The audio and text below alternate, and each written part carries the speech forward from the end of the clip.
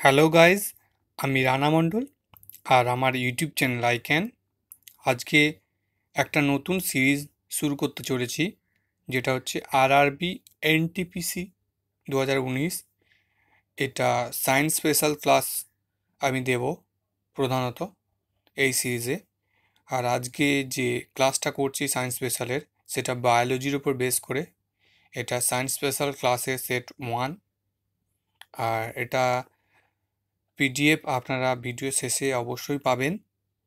ডেসক্রিপশনে গিয়ে আপনারা ভিডিওর পিডিএফটা ডাউনলোড করে নিতে পারবেন।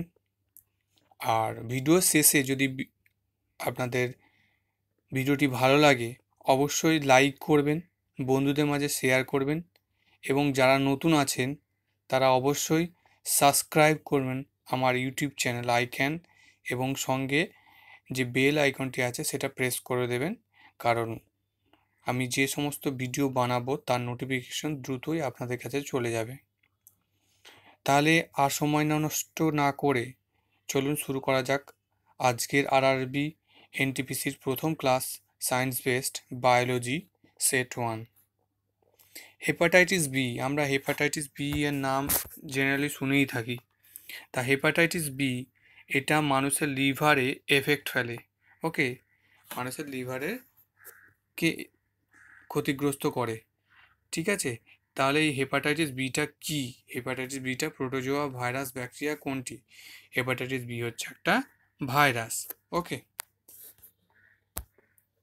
ফুল, আমরা ফুল দেখি বিভিন্ন কালারের বা রঙিন। তা এই ফুল রঙিন হওয়ার কারণের পিছনে একটা যৌগ, তার কারণ। তার যৌগটা হচ্ছে অ্যান্থোসায়ানিন অ্যান্থোসায়ানিন এই ফুল রঙিন হওয়ার পিছনে কারণ। ফুল রঙিন হয়, তার কারণ হচ্ছে অ্যান্থোসায়ানিন। পৃথিবীর বৃহত্তম ফুল কি? পৃথিবীর বৃহত্তম ফুল হচ্ছে রাফলেসিয়া। পৃথিবীর বৃহত্তম ফুল রাফলেসিয়া। নিচের কোনটি স্তন্যপ্রায়ী প্রাণী নয়? স্তন্যপ্রায়ী বা ম্যামাল নয়। বাদুর বা ব্যাট, এটা অবশ্যই স্তন্যপ্রায়ী প্রাণী। তিমি স্তন্যপ্রায়ী প্রাণী বা হুইল, ডাক বাইল্ড প্লাটিপাস এটাও স্তন্যপ্রায়ী প্রাণী শুধুমাত্র হাঙর বা সার্ক এটা স্তন্যপ্রায়ী প্রাণী নয়। তাহলে অ্যান্সার হচ্ছে এটা। ঠিক আছে? আপনাদের মনে রাখতে হবে বাঁদর, তিমি এরা স্তন্যপ্রায়ী প্রাণী কলেরার। কলেরার কারণ হলো ব্যাকটেরিয়া বা ব্যাকটেরিয়াম। ব্যাকটেরিয়া হচ্ছে কলেরার প্রধান কারণ। Alpha carotene. আলফা ক্যারোটিন একটা প্রোটিন। এটা কোথায় পাওয়া যায়? এটা হচ্ছে উল। উলে আমরা এই আলফা ক্যারোটিনটাকে পাই বা এই উলে প্রেজেন্ট থাকে। মাম্পস মাম্পস একটা রোগ। মাম্পস রোগের কারণ হচ্ছে ভাইরাস। মাম্পস রোগের কারণ হচ্ছে ভাইরাস। Theory of mutation. একটা খুব বিখ্যাত একটা তত্ত্ব। তা এই থিওরি অফ মিউটেশন তত্ত্বটি কার? De Vries. ডি ভ্রিসের এই তত্ত্ব হচ্ছে থিওরি অফ মিউটেশন ওকে। নিচের কোনটিতে কার্বোহাইড্রেট সব থেকে বেশি আছে? কার্বোহাইড্রেট সব থেকে বেশি আছে? এখানে যে অপশান আছে, আপেল, কলা, মটর, বাঁধাকপি সব থেকে বেশি আছে। কলাতে কার্বোহাইড্রেট সব থেকে বেশি আছে। নিচের কোন রোগটি বংশগত? কোন রোগটি বংশগত? হিমোফিলিয়া এখানে যে সমস্ত রোগ দিয়েছে, তার মধ্যে হিমোফিলিয়া হচ্ছে বংশগত, ওকে? সব থেকে মিষ্টি চিনি কোনটি? অথবা সুইটেস্ট সুগার কোনটা? Sucrose, glucose, fructose, lactose. অবশ্যই সুইটেস্ট সুগার হচ্ছে ফ্রুক্টোজ ফ্রুক্টোজ হচ্ছে sweetest sugar, okay? DPT DPT vaccine কোন রোগ প্রতিরোধের জন্য দেওয়া হয়?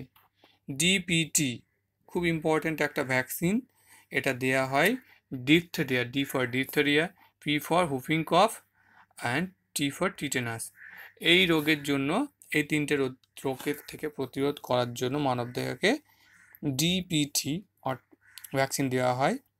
ওকে খুব ইম্পর্ট্যান্ট একটা কোশ্চেন মনে রাখবেন। ডিপথেরিয়া হুফিং কফ টিটেনাস কুকুর কামড়ানোর জন্য কি রোগ হয়? কুকুর কামড়ানোর জন্য রোগ হয় হাইড্রোফোবিয়া। হাইড্রোফোবিয়া হয় কুকুর কামড়ানোর জন্য। কোন ভিটামিন অল্প তাপের প্রভাবে নষ্ট হয়ে যায়? অল্প তাপের প্রভাবে নষ্ট হয়ে যায় vitamin C. Okay? Vitamin C অল্প তাপের প্রভাবে নষ্ট হয়ে যায় বা তাপের সংস্পর্শে আসলে নষ্ট হয়ে যায়। কোন যৌগটি ম্যালেরিয়া ম্যালেরিয়া প্রতিরোধী ঔষধ বা অ্যান্টি ম্যালেরিয়াল ড্রাগ তৈরিতে ব্যবহৃত হয়। ঠিক আছে? এই ক্লোরোকিন নামক একটি যৌগ আছে, সেটা অ্যান্টি ম্যালেরিয়ান ড্রাগ বা ম্যালেরিয়া প্রতিরোধী ঔষধ তৈরিতে ব্যবহৃত হয় ক্লোরোকুইন খুব খুব ইম্পর্টেন্ট কোশ্চেন মাথা রাখবেন। নিচের কোনটি চামড়ার রোগ বা স্কিন ডিজিজ এটা হচ্ছে পেলেগ্রা বা প্লেগ নিচের কোন রোগ প্রতিরোধের জন্য বিসিজি বেসিজি কথার অর্থ হচ্ছে ব্যাসিলাস ক্যালমেট গুইরিন এই বিসিজি ভ্যাকসিনটা দেওয়া হয় কারণ কোন রোগ প্রতিরোধের জন্য? যক্ষা বা টিউবারকুলোসিস এই রোগটিকে প্রতিরোধের জন্য বিসিজি ভ্যাকসিন দেওয়া হয় ব্যাসিলেস ক্যালমেট গুইরিন ক্যান্সার নির্ধারণ করা হয় কোন টেস্টের মাধ্যমে? ক্যান্সার নির্ধারণ করা হয় বায়োপসি টেস্টের মাধ্যমে ক্যান্সার নির্ধারণ করা হয়। বাচ্চাদের কোয়াসিয়াকার রোগ কিসের অভাবে হয়?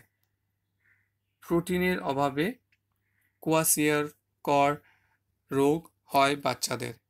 সাধারণত এক বছরের নিচে বাচ্চাদের এই রোগ হয়। নিচের কোনটি সঠিক? সিসি ফ্লাই সিসি ফ্লাই থেকে তৈরি হচ্ছে স্লিপিং সিকনেস একটা রোগ। মানবদেহে তৈরি হচ্ছে স্লিপিং সিকনেস রোগ সিসি ফ্লাই থেকে। ওকে? আর ফিমেল অ্যানোফিলিস মসকিটো, এটা থেকে তৈরি হচ্ছে ম্যালেরিয়া, ম্যালেরিয়ার বাহক এরা। আর স্যান্ড ফ্লাই হচ্ছে কার বাহক? কালা জ্বর। তাহলে দেখা যাচ্ছে সিসি ফ্লাই, কার বাহক? Sleeping sickness female anopheles mosquito, malaria, sand fly হচ্ছে কালা জ্বর। তিনটেই ঠিক, তাহলে উপরে সবগুলি ঠিক। খুব ইম্পর্ট্যান্ট একটা ডাটা মাথায় রাখবেন অবশ্যই।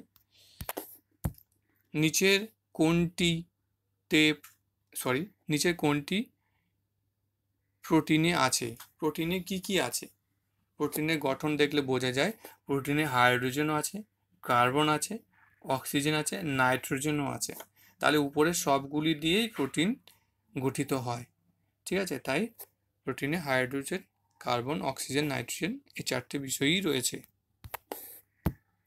নিচের কোনটি মশাবাহিত রোগ নয়? মশাবাহিত রোগ নয়, মাথায় রাখবেন, মশাবাহিত রোগ নয়। ডেঙ্গু জ্বর অবশ্যই মশাবাহিত রোগ ম্যালেরিয়ার মশাবাহিত রোগ, ফাইলারিয়াস মশাবাহিত রোগ, কিন্তু স্লিপিং সিকনেস এখনই জানলাম আমরা, স্লিপিং সিকনেস মশাবাহিত রোগ নয়। এটা সিসি ফ্লাই বলে একটা প্রাণী আছে যে এই স্লিপিং সিকনেস রোগটিকে ছড়ায়।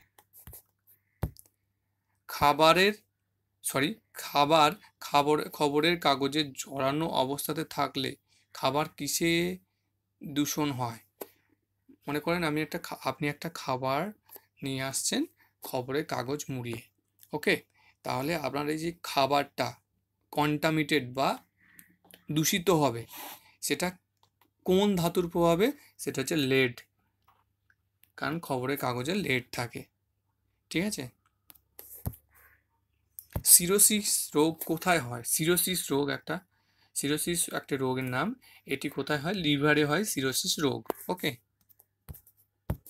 দুধ, পনির, ডিমে কোন ভিটামিন পাওয়া যায়? দুধ, পনির এবং ডিমে কোন ভিটামিন পাওয়া যায়? ভিটামিন এ এবং ডি পাওয়া যায় দুধ, পনির এবং ডিমে ওকে ঠিক আছে? এবার হচ্ছে ইনসুলিন কে আবিষ্কার করেন? খুবই একটা ইম্পর্টেন্ট কোশ্চেন ইনসুলিন আবিষ্কার করেন F J sorry F G Banting হচ্ছে ইনসুলিন আবিষ্কার করেন। কোন ভিটামিনকে হরমোন বলা হয়? ভিটামিন ডি কে হরমোন বলা হয়। ভিটামিন ডি কে হরমোন বলা হয়। ওকে এইডসের কারণ কি? এইডসের কারণ হচ্ছে ভাইরাস এইডসের কারণ হচ্ছে ভাইরাস কোন ভিটামিনগুলো মানবদেহে সংশ্লেষিত হয়? মানবদেহে সংশ্লেষিত হয় সংশ্লেষিত হয় ভিটামিন ডিও হয় কেও হয়। তাহলে অ্যান্সার হচ্ছে ডি ও কে দুটোই। ডিওকে দুটোই এটা মানবদেহে সংশ্লেষিত হয়। কোনটা এয়ারবোর্ন ডিজিজ বা রোগ? এয়ারবোর্ন ডিজিজ হচ্ছে টিউবারকুলোসিস বা যক্ষা হচ্ছে এয়ারবোর্ন ডিজিজ। নিচে কোনটি সঠিক? ওয়াটারবর্ন ডিজিজ হচ্ছে কলেরা কন্ট্যাক্ট মানে স্পর্শের মাধ্যমে যে রোগ ছড়ায় তাকে বলে, সেটা হচ্ছে কন্ট্যাক্ট সেটা হচ্ছে সিফিলিস এটাও ঠিক। ওন্ড ক্ষত থেকে মানে ঘা থেকে, সেটা হচ্ছে টিটেনাস তাহলে তিনটে ঠিক। ওয়াটারবর্ন ডিজিজ হচ্ছে কলেরা কন্ট্যাক্ট হচ্ছে সিফিলিস ওন্ড হচ্ছে টিটেনাস তাহলে উপরে সবগুলি ঠিক। খুব ভালোভাবে মনে রাখবেন এই পয়েন্টটি ভিটামিন ডি এর সব থেকে ভালো উৎস কোনটা? ভিটামিন ডি এর সব থেকে ভালো উৎস হচ্ছে কড লিভার অয়েল ওকে কোন ভেজিটেবল এর সরি কোন ভেজিটেবল এর প্রোটিন প্রাণীজ প্রোটিনের সমতুল্য? ঠিক আছে? ভেজিটেবল প্রোটিন প্রাণীজ প্রোটিনের সমতুল্য কোনটা? সেটা হচ্ছে সয়াবিন প্রোটিন একটা ভেজিটেবল প্রোটিন যেটা প্রাণীজ প্রোটিনের সমতুল্য।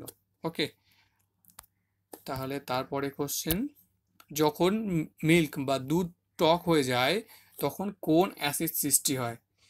যখন মিল্ক বা দুধ টক হয়, তখন যে অ্যাসিডের সৃষ্টি হয়, সেটা হচ্ছে ল্যাকটিক অ্যাসিড সৃষ্টি হয়। ওকে দুধ টক হলে ল্যাকটিক অ্যাসিড সৃষ্টি হয় বা দইয়ে আমরা ল্যাকটিক অ্যাসিড পেয়ে থাকি। ভোজ্য প্রোটিনের জন্য দুটি সবথেকে ভালো উৎস কি? ভোজ্য প্রোটিনের জন্য দুটি সবথেকে ভালো উৎস হচ্ছে সয়াবিন ও বাদাম। তাহলে আজকে এই পর্যন্তই। আবার ফিরে আসব সেট টু ভিডিও নিয়ে। আর যদি আপনাদের ভিডিওটি ভালো লাগে, তাহলে অবশ্যই আমার ভিডিওটিকে লাইক করবেন শেয়ার করবেন এবং নতুন হলে আমার চ্যানেলে কেউ নতুন এই ভিডিওটিকে দেখে থাকলে অবশ্যই সাবস্ক্রাইব করবেন এবং পাশে থাকা বেল আইকনটিকে প্রেস করবেন। তাহলে আজকে এই পর্যন্তই। Thank you.